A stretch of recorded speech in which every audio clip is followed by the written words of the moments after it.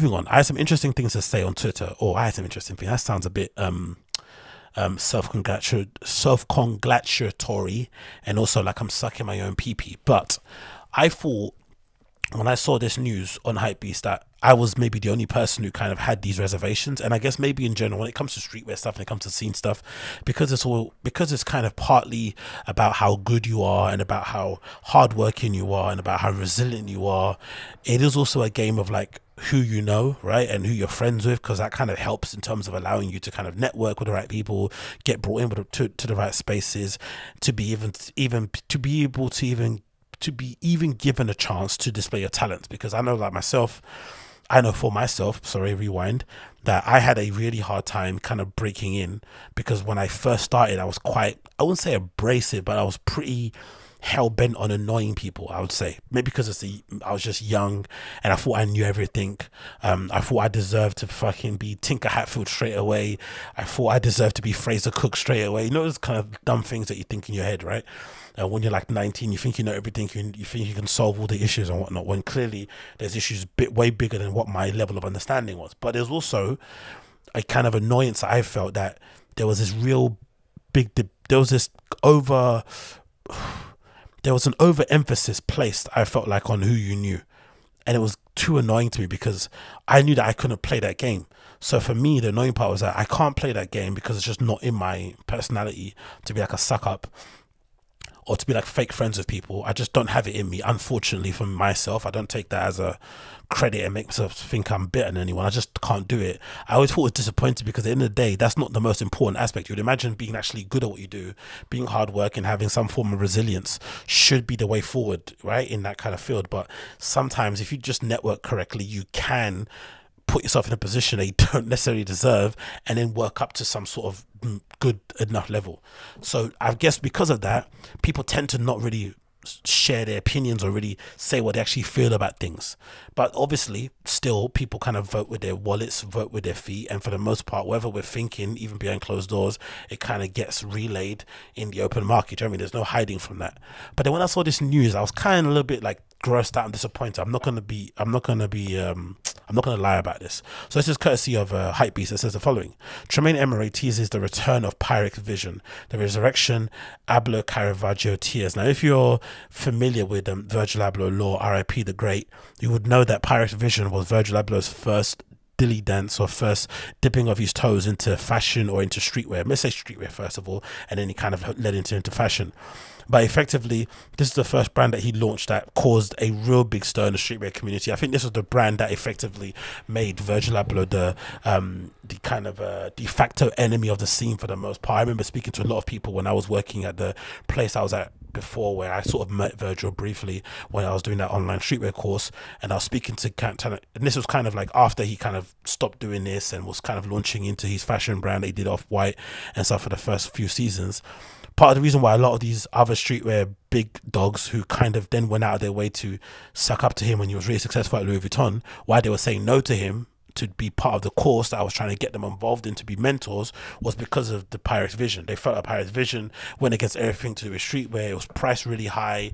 Um, the inspiration from it was maybe a little bit I don't know surface level. I don't know what what people thought maybe the name. I don't know but people just didn't like what he did there they didn't like how he put it together. And I think maybe the rugby flannels also kind of rubbed people up the wrong way. The fact that he went and bought all these rugby flannels that were like 60 to I think 60 bucks or something like that I think he said in the interview. Um, he basically um, he basically dead stock no he basically bought them whatever that was left so that they weren't anymore because I guess they weren't reissuing with whatever that was left on the racks. And then he printed the Pyrex Vision on the back of the 23 and then sold them for $600, right? And this was also maybe the time that he was kind of being a bit of a troll online and attacking people saying, you know, fashion is, um, what did he say? Um, design's a fresher scam or something. You know, he was just being a little bit of a troll and being a little bit anti, being a little bit counterculture, right? And also just kicking up a fuss, which you should do in a streetwear brand. You should be making t-shirts that say Pharrell can't skate and kind of winding people up a little bit. Do you know I mean? That's what that's the kind of name of the game. I think a little bit, especially when you're starting to kind of cause a bit of a stir. That being said, the brand obviously got. um If I remember the name, was the name of the brand as well? Who was that?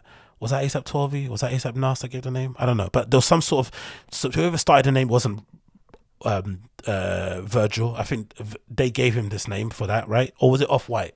whatever it was, doesn't matter. Pyrex Vision, he did it for a bit. He had to stop it because the brand, the manufacturer Pyrex, ended up, you know, um, sending him a cease and desist or maybe threatening to sue, and then that's when he shifted into Off White, and then you know the rest is history. But me personally, I just think um, teasing a return of Pyrex Vision under the monarchy of Denim Tears from Tremaine Emory, I just think is a bit distasteful.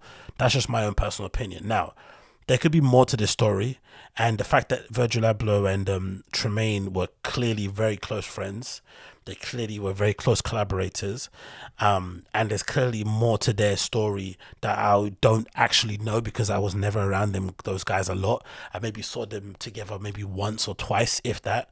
So cool, understandable, but I just think the fact that this guy hasn't been dead yet for a year yet. It's not even been a year since Virgil Abloh untimely passing, right?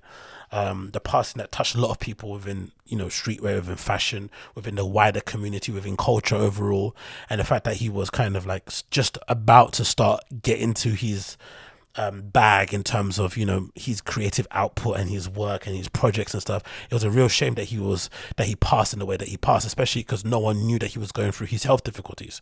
So all that kind of baggage around it, the fact that he was going through that tumultuous time just before he passed, where he was getting a little bit, you know, he was kind of getting cancelled online for the whole Black Lives Matter stuff, and there's a lot of kind of been up emotion there. And then of course the criticism he was getting from fashion people and, you know, not really recognizing his work or not really wanting to give him his flowers while he's around.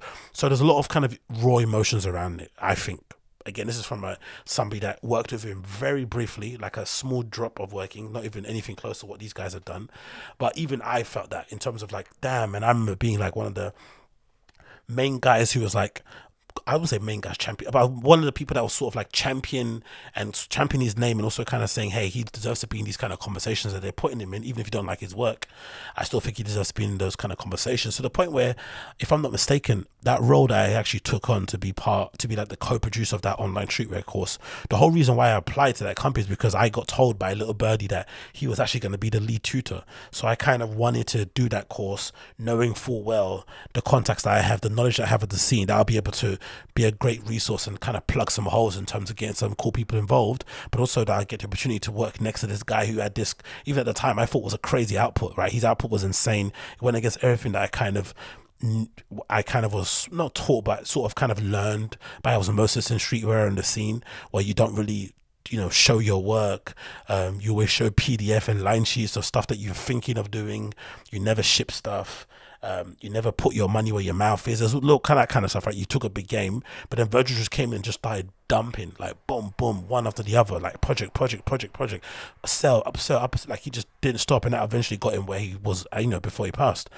So I'm as invested in this story as anybody because I was a fan. Do you know what I mean? I'm still I'm a fan to this day. I still, you know, for the most part, when I'm about to do a creative project, I love to put on the odd Virgil Abloh interview in the background and just listen to it as I'm doing my thing. It's just something I like to do.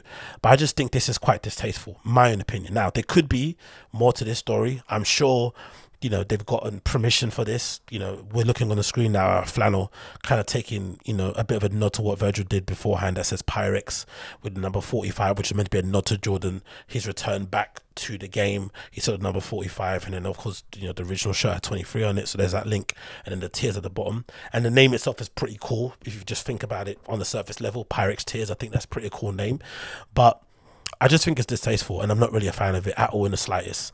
Um, I just think the guy hasn't passed. You know, his passing hasn't been long enough for those kind of things to go about. I know most likely he did get permission from the estate to do this for sure. They're way more closer to Virgil Abloh's, you know, late wife and children and family members than I would ever be. So if they say it's fine, then it's fine. But I think as a fan, um, you're allowed to maybe raise your concerns and say, I just don't like post. What is how, how do you pronounce it? Is it posthumous, right? Posthumous releases. I just hate them. I think Prince was a big um, Prince also agreed with that kind of notion that he was never a fan of it, and then in the end, they ended up kind of going against his wishes and trying their best to kind of tarnish his legacy by bringing out as many releases as possible after he passed. And I look at people like you know Jean Michel Basquiat and his legacy and how it's been, I think, somewhat ruined because of the licensing that was you know done to his work and his likeness. I look at the stuff with like Keith Haring and the amount of crappy you see out there with people wearing. I look at the stuff at leaving at some like a Piet Mondrian. Some the other day I saw some girl at some tech house party I went to wearing a jacket that you know some Piet Mondrian S kind of jacket, and I was like, does she even know? Like again, not in a kind of like oh, do you listen to metal sort stuff, but come on, do you even know who this artist is? And his brand's has been cheapened by some bomber jacket you can buy in Primark. I just this is what you don't want to see, and I don't know if this would be maybe an agreement they already had. Maybe this is kind of one of Virgil's kind of last hurrahs in terms of like you know you would never think I'd be into this sort of stuff, but here I am saying no. You know, take my stuff, rip it, make as many copies as you want, you know, make your own tributes. I don't care, you know, because at the end of the day, his name is still ringing off the back of this. But I just think, in terms of tact and stuff, I wouldn't personally like this for myself. No, I personally just don't like it from afar. Um, I just think it's a little bit, it's a little bit gross for me personally. Um, but again, who knows? This I could be proven wrong. This whole thing could be tied to a project that is tied to some sort of um, community outreach thing. It could be going to unrepresented communities. It could be, you know, something that kind of leads to a bigger project that kind of touches more people and inspires more people. I don't know. I'm sure there's more to it. But if you're just going to put out two posts that I see now on the screen, one of them features an up close picture of a hoodie with a picture from of Caravaggio here. that's been enlarged to cover the whole entire front. And then you've got another picture, of course, with the back of the flannel and not give any more information than the resurrection, Abloh Caravaggio tears, and you've got returning with the 45. If you're going to be that vague, I just have to assume, I just have to interpret what I see on the screen. And from what I see on the screen, I don't like it it could be again i'm sure because the Tremaine guy seems to be a fairly level-headed rational considerate compassionate type of dude. I'm sure this isn't done with any sort of malice so it's not a criticism on the guy at all. And from the times i've met him he's only been nice courteous and you know good natured despite some of the people that he hangs around with being absolute cunts. Do you know what i mean? He's always been really really nice. It's just I just don't like this this thing alone, and I'm and I think it's cool to say you don't like it without it kind of coming across that you're gonna ruffle some feathers or people are not gonna be happy and it's gonna you know tarnish your name and shit. That's just a bit lame. I mean, if my work is good, my work is good. It shouldn't matter that I didn't like a shirt, but I just don't like this collaboration. I just think it's a little bit tasteless for me personally. But maybe I'm in the minority, so I'd like to know what you guys think in the comments down below. Um, let me know what you think. Do you think the Pyrex Tears number 45, the resurrection of Pyrex Vision, Virgil Abloh's first kind of dip into the kind of streetwear scene, this resurrection that Tremaine is doing from Denim Tears. Do you think it's actually, do you think it's tasteful? Do you think it honors his legacy?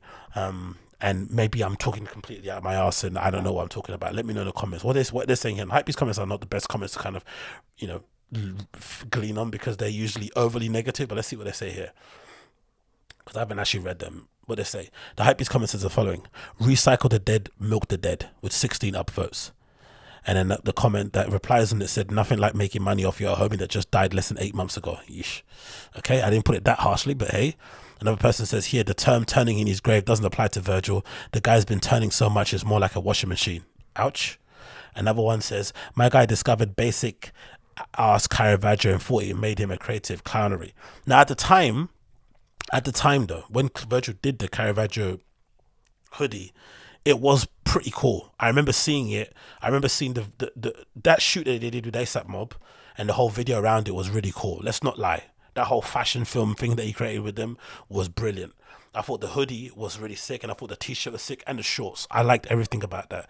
And I remember seeing a performance of was it ASAP Rocky? I don't know what he was performing this not not what he's wearing. It was like a it was like an old one when the first dropped. I think he was wearing the all white ones that wasn't even maybe available for sale. I'm not too sure. There was a white one, maybe had white font, and I thought that looked disgustingly good. So that was pretty sick at the time.